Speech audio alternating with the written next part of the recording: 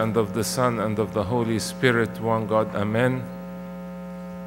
I'm very grateful to our Lord and Savior Jesus Christ for this great blessing, blessing that He has given me this morning to celebrate the Divine Eucharist here at St. Mark's Church in Washington, D.C.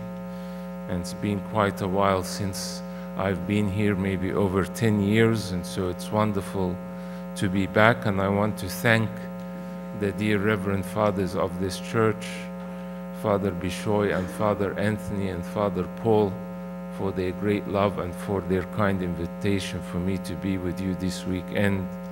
And also, I'm happy that Father Musa from Long Island is also with us here today and praying with us. And it was really great to see the activities and the expansion that has happened at the church here during this period. And probably the thing that impressed me the most were many things, actually, not just one thing. In particular, the work with the school and the importance that this church is giving to education and religious education, which I think is a key to our survival and for us to be able to continue maintaining our Coptic identity in such a multicultural society that we are living in.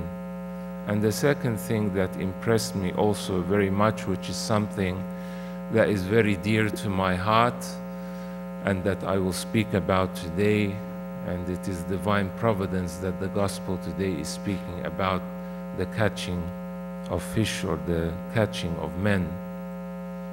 And that is the work that the church is doing here under the guidance of the Blessed Reverend Fathers in mission and evangelism. And it's very clear that the congregation and the priests have an open mind and are returning back to the early glories of the Coptic Church that was very active in the field of mission and evangelism for seven centuries. And I think it is important for us to be able to begin again this work. I heard a lot about the many mission trips that have been done, whether within North America or in Africa or other parts uh, of the world. And I also had the blessing yesterday of seeing the great work that has been done in the Hope Clinic and the Mission Life Center. And these are indeed great projects, and I congratulate you on this and hope to hear more and more success and more expansion about this important work that you are doing with respect to preaching and teaching, because this is the divine command of the Lord that He told His disciples to go and to preach to all nations and to every creature and to baptize them in the name of the Father and the Son and the Holy Spirit.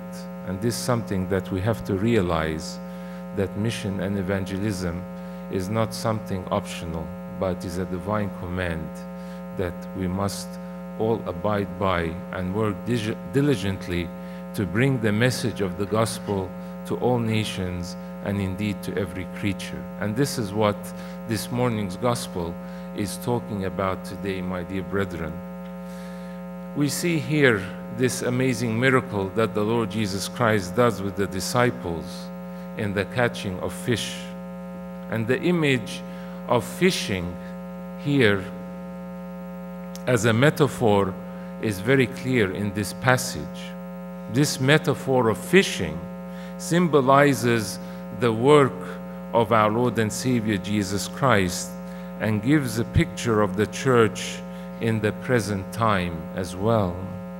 The miracle is actually about the catching of men alive, the catching of men alive through the ministry and the means of grace which establishes the church and keeps the church growing even today as Christ continues to draw people into his church through the preaching of the gospel. And we all have an important role to play in this, as I will talk about in a few minutes. The church is called out into the deep, as was Noah in the Old Testament, into the deep of this world and the difficulties and the whirlpool of life that people live in and are taken up by the many pleasures of the world, the church is called out to go into the deep of the world and to gather in those people that have either lost the way or they have not even heard about the Lord Jesus Christ, as was also at the time of Noah.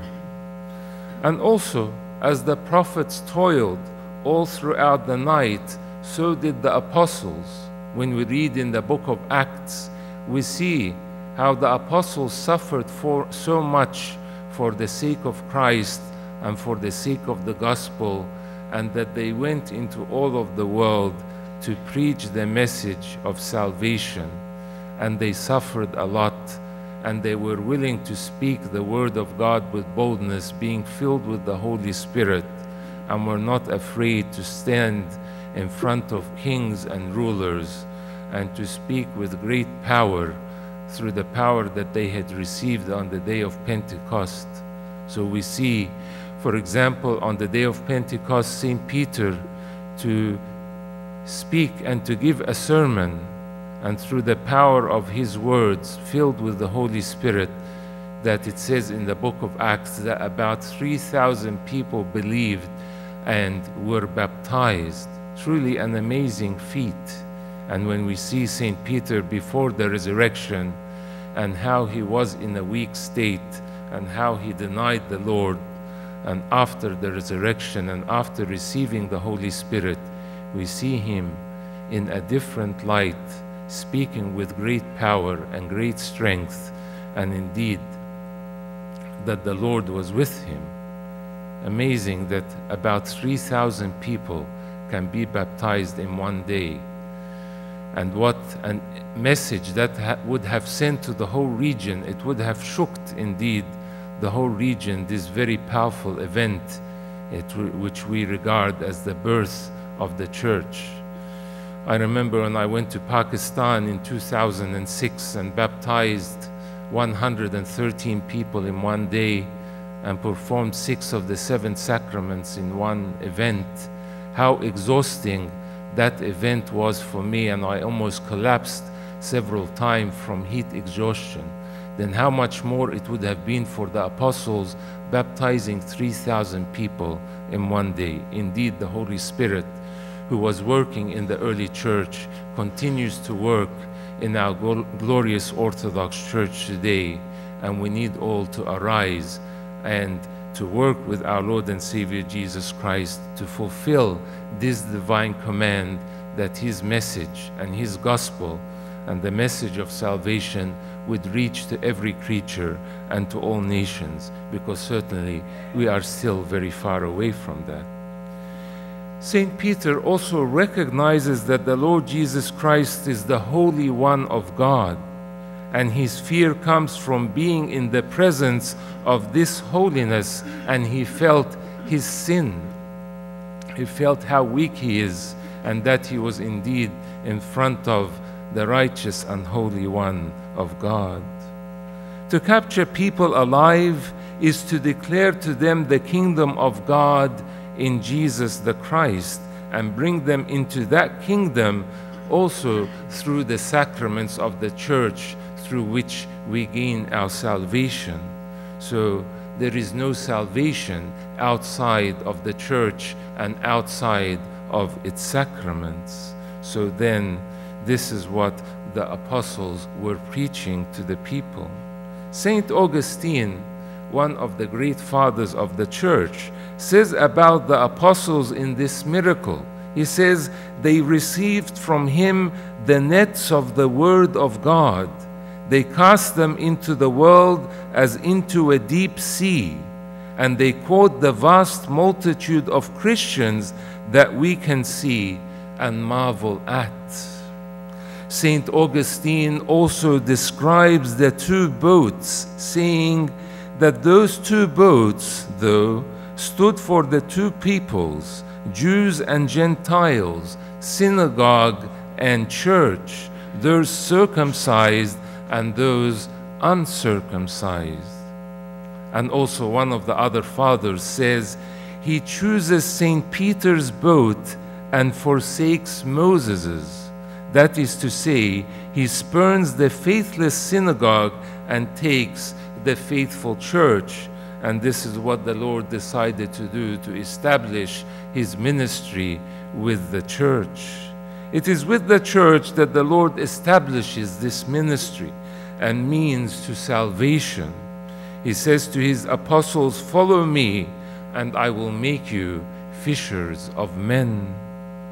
The boat sails upon the depths, the deeps of this world, so that when the earth is destroyed, it will preserve unharmed all those it has taken in.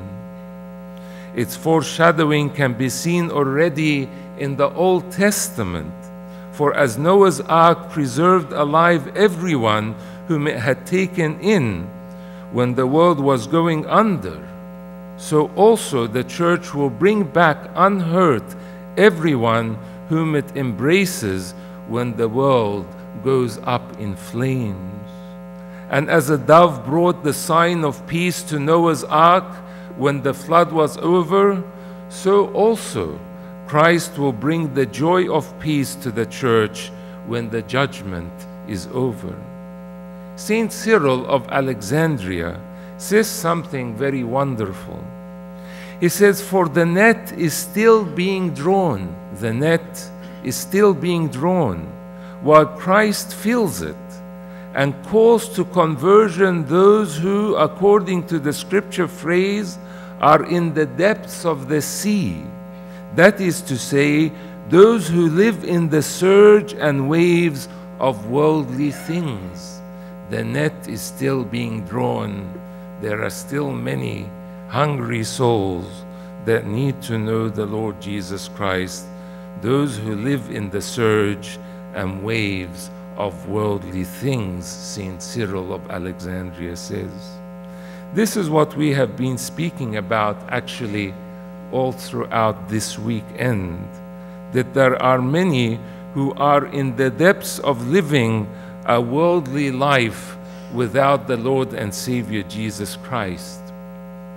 In fact, my dear brethren, two thirds of the whole world do not know the Lord Jesus Christ yet. Two thirds, two thirds of the world do not know anything about the Lord Jesus Christ. I wonder sometimes that the sign, the big yellow M of McDonald's, is now more recognized than the Christian cross in the world. The sign, the big yellow M that we see in all suburbs and all cities across the globe is now more recognized than the Christian cross. Sometimes, even among Christians or nominal Christians. I remember a couple of years ago when I was in America and I was visiting this Armenian man in his business. And we started to talk. And he told me that he was from the Armenian Apostolic Church. And then I began to explain to him that the Armenian church and the Coptic church are sister churches. We have the same faith, we believe in the same God, we can practice the sacraments together, we can have communion together, and that we are really one church and we have one belief. And he kept on nodding his head and yes, in agreement, and he seemed that he understood all of this. And we continued our conversation. And then we ended the meeting, and he was seeing me out of his office, and we got to the elevator. And then, and I was wearing a very clear Christian, you know, Orthodox cross that I always wear, having the Theotokos, our Holy Mother, St. Mary, carrying the Lord Jesus Christ. And then we got to the elevator, and this Armenian Orthodox man, before I entered the elevator, said to me, Oh, by the way, I have a question for you. I said, Yes, of course. He said, Are you Christian or Muslim?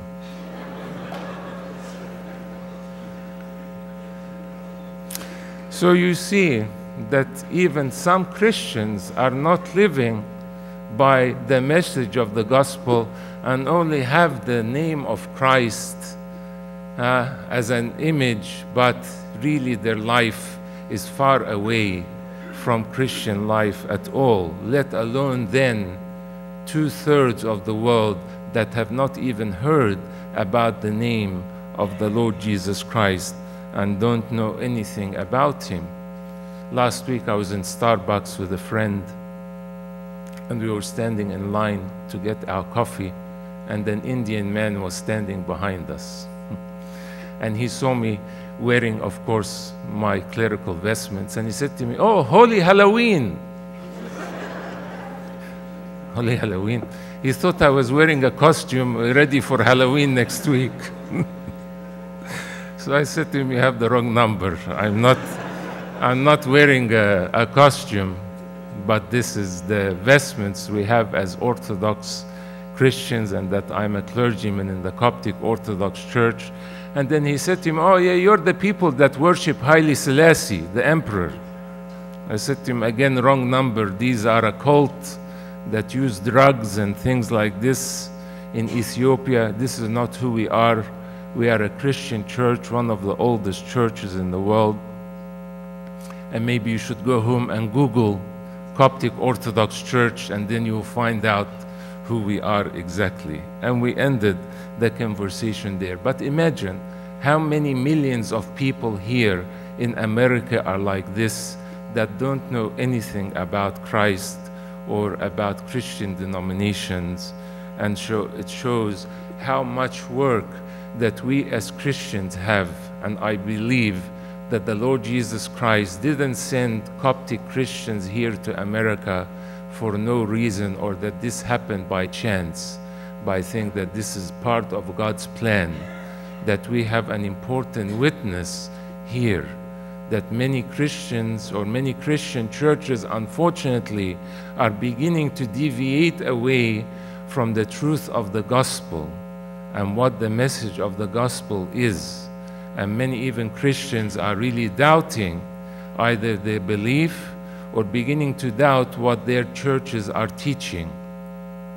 You look, for example, at what is happening in the Episcopal Church of the USA and it is a disaster to see how they are completely deviating away from the teaching of the scriptures by ordaining openly gay homosexual men as bishops in their church and lesbians as women bishops. Many of their people are starting to say this is against the teaching of the Bible and this is not God what God wants for his church. I wonder how such leaders can be actually leaders and how they can be role models and example for their people when they're living such a life. When Gene Robinson, he was a married man and had a daughter and divorced his wife and left his daughter and went to live in an openly gay relationship and then his church blesses this and then on top of this another disaster to ordain him as a bishop Recently, I was in Singapore attending a conference with Episcopals from the global south who are very conservative and against this, what is happening here in America. And it was sad to see that one of the bishops here from that church who was in attendance, that his church rejected him and denounced him and removed him from being bishop. Why? because he was conservative, because he was abiding by the Bible, because he said that homosexuality is against the teaching of the scriptures. So they kicked him out from being a bishop in his diocese. It's funny, isn't it? Because I think that the words of St. Anthony that he said 1600 years ago are being fulfilled today. St. Anthony said that there will come a day when the mad people will look at the normal people and say, Look at these mad people because they are not like us. Huh? And I really believe that we're starting to live in such days now that what is normal is becoming abnormal and what is abnormal is becoming the new normality in America. And so I believe that our church that has lived according to the teaching of the scriptures has not deviated from this faith that has been handed down to us from generation to generation faithfully. This deposit of faith that the Lord gave to his apostles, we have an important role to play in this country to continue spreading that message of the gospel here amongst millions of people that do not know the Lord Jesus Christ. So the net then is still drawn, and Christ still calls many. But what is our role in this? He wants us to share in His divine work of transforming hearts and bringing them in from the depths of living such a worldly life. But the question is are we ready? Are we willing to go into the depths of the fiercest storm and draw in the nets of hungry souls for Christ? Are our churches ready? Are our congregations ready? Are our clergy ready? I'm glad to see that St. Mark's Church here in Washington, D.C. is indeed ready for this work and has really begun in a powerful way. And I hope that you will really continue in this. Because we have to realize that many others are casting nets also, but their nets are full of poison and full of heresy and full of false teachings. People like the Jehovah's Witnesses, for example, their magazine, the Watchtower magazine, is, according to the New York Times, the most read magazine in the whole world. And also, they have people that go knocking on doors, and I'm sure you have had them coming perhaps at your doors as well, as well as the Mormons, who are very active and baptizing 1 million people every three years, according to their statistics, that 1 million people every three years are being added to the Mormons. They have 60,000 active missionaries preaching in 192 nations around the world. And they give a healthy family image. They speak about Jesus Christ as their Savior and as the cornerstone of their faith but when you understand this cult, you will know that they are worshiping a fake Jesus, not the Christ whom we know as the God and Savior of the world. But for them, Jesus Christ was a human being and then attained godhood later, and that he is just one of many gods. And they say that Jesus was formed of 46 chromosomes, 23 from St. Mary and 23 from God the Father in a physical relationship. And yet they are deceptive because they call themselves the Church of Jesus Christ of Latter day Saints. They speak the same language as Christians and they use the same terms, but what they mean by those terms are completely different to our Christian understanding of them. So there are many who are casting such nets full of poison, and we have to then awake and arise and begin fulfilling the divine command of Christ to go into the world. Because don't think people are going to come to us. Mission is about going out, and this is what the apostles did, and this is what happened the early church that monks in particular had an important role to play in mission and went to many parts of the world to preach.